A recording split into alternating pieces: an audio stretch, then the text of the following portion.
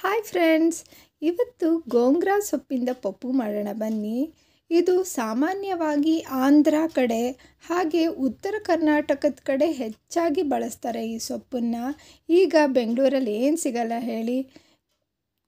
ಇಲ್ಲಿ ನಾನು ಒಂದು ಕಟ್ಟನಷ್ಟು ಸೊಪ್ಪನ್ನು ತಗೊಂಡು ತೊಳೆದ್ಬಿಟ್ಟು ರೆಡಿ ಮಾಡಿ ಇಟ್ಕೊಂಡಿದ್ದೀನಿ ಈಗ ಕುಕ್ಕರ್ಗೆ ಒಂದು ಕಪ್ನಷ್ಟು ತೊಗರಿಬೇಳೆ, ಹಾಗೆ ಒಂದು ಕಪ್ಗಿನ್ನ ಕಮ್ಮಿ ಕಡಲೆಬೇಳೆನ ತೊಗೊಂಡಿದ್ದೀನಿ. ಇದೆರಡು ಹಾಕ್ಕೊಂಡು ಸ್ವಲ್ಪ ಒಂದೂವರೆ ಚಂಬಷ್ಟು ನೀರು ಹಾಕ್ಕೊಂಡು ಸ್ವಲ್ಪ ಅರ್ಶಿನ ಹಾಗೆ ಎಣ್ಣೆ ಹಾಕ್ಕೊಂಡು ಕುಕ್ಕರ್ ಕೂಗಿಸ್ಕೊಳ್ಳೋಣ. ಬೇಳೆ ಫಸ್ಟ್ ಬೇಯಿಸ್ಕೊಂಡ್ಬಿಟ್ರೆ ಸೊಪ್ಪು ತುಂಬಾ ಬೇಗ ಬೆಂದೋಗ್ಬಿಡತ್ತೆ.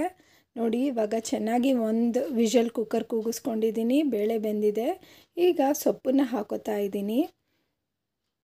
ಖಾರಕ್ಕೆ ಹನ್ನೆರಡರಿಂದ ಹದಿನಾಲ್ಕು ಹಸಿಮೆಣ್ಸಿನ್ಕಾಯಿ ಹಾಕ್ಕೊಂಡಿದ್ದೀನಿ. ಹಾಗೆ ಒಂದು ಟೇಬಲ್ ಸ್ಪೂನಷ್ಟು ಜೀರಿಗೆ, ಅರ್ಧ ಚಮಚದಷ್ಟು ಮೆಂತ್ಯೆ, ಒಂದು ಗೆಡ್ಡೆ ಬೆಳ್ಳುಳ್ಳಿ ತೊಗೊಂಡಿದ್ದೀನಿ. ಸುಲಿದು ರೆಡಿ ಮಾಡಿ ಇಟ್ಕೊಂಡಿದ್ದೀನಿ. ಅದನ್ನು ಸಹ ಹಾಕೋತಾ ಇದ್ದೀನಿ.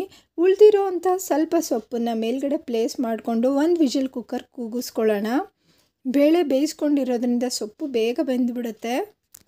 ಒಂದು ವಿಷಲ್ ಕೂಗಿ ಪ್ರೆಷರ್ ಇಳಿದ ಮೇಲೆ ಲಿಡ್ ಓಪನ್ ಮಾಡ್ಕೋತಾ ಇದ್ದೀನಿ. ಈಗ ಸೊಪ್ಪನ್ನ ಬಸ್ತ್ಕೊಳ್ಳೋಣ.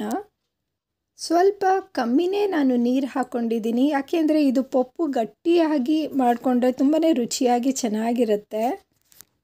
ಈ ಸೊಪ್ಪಿನಲ್ಲಿ ಸಾಕಷ್ಟು ಹೆಲ್ತ್ ಬೆನಿಫಿಟ್ಸ್ ಇದೆ. ಯಾವ ಸೊಪ್ಪಲ್ಲಿ ಇಲ್ಲ ಹೇಳಿ.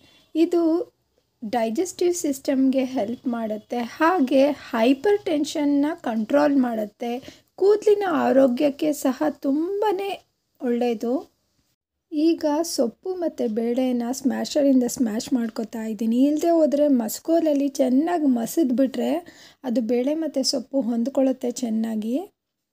ಈಗ ಸ್ಟವ್ ಅಂಟಿಸ್ಕೊಂಡು ಕುದಿಲಿಕ್ಕೆ ಇಡೋಣ ಸೊಪ್ಪನ್ನು ರುಚಿಗೆ ತಕ್ಕಷ್ಟು ಉಪ್ಪು ಹಾಕೋತಾ ಇದ್ದೀನಿ.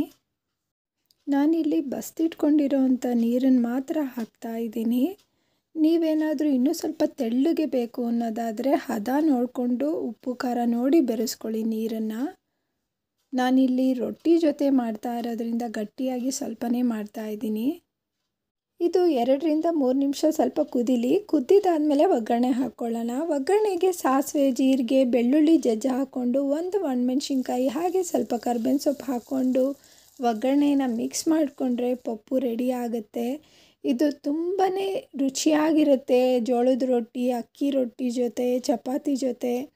ಹೇಗೆ ಅನ್ನಿಸ್ತು ಈ ರೆಸಿಪಿ ಅಂತ ಹೇಳಿ ಕಮೆಂಟ್ ಮೂಲಕ ತಿಳಿಸಿ. ಹಾಗೆ ಇದೇ ರೀತಿಯಾಗಿ ನಾವು ಇದರಿಂದ ಸಾರು ಸಹ ಮಾಡ್ತೀವಿ. ಪಾಲಕ್ ಸೊಪ್ಪಿನ ಸಾರೆಲ್ಲ ಮಾಡ್ತೀವಲ್ಲ, ಅದೇ ರೀತಿಯಾಗಿ. ಅದನ್ನು ಮುಂದಿನ ವೀಡಿಯೋಗಳಲ್ಲಿ ಅಪ್ಲೋಡ್ ಮಾಡ್ತೀನಿ. ಈ ವಿಡಿಯೋ ನಿಮ್ಗೆ ಹೇಗೆ ಅನ್ನಿಸ್ತು ಅಂತ ಕಮೆಂಟ್ ಮೂಲಕ ತಿಳಿಸಿ. Thank you for watching bye